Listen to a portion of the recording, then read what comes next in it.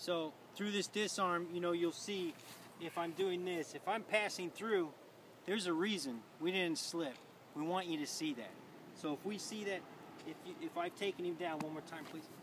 If um, whatever kind of disarm we're looking at, if it's at the head side of the head thing, and I'm coming down here and then I, if you see that, then there's a reason. We're trying to say, hey, because uh, this is for you students, you know, so are you seeing those things? Are you seeing those little mistakes? If it's coming here, you know, what kind of thing? You know, we're going to the arm bar. Is it, am I really clear? Is it shot my ear? Am I out of the way danger? So just to see, are we moving right? That's important. And we want you to move right. So it's really simple.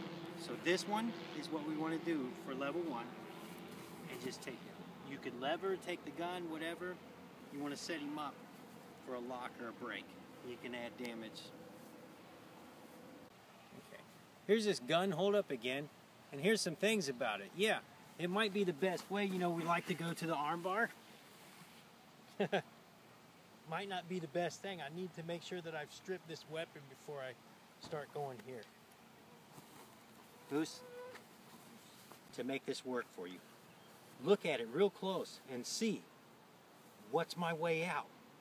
What's the best way out of this situation? Goose?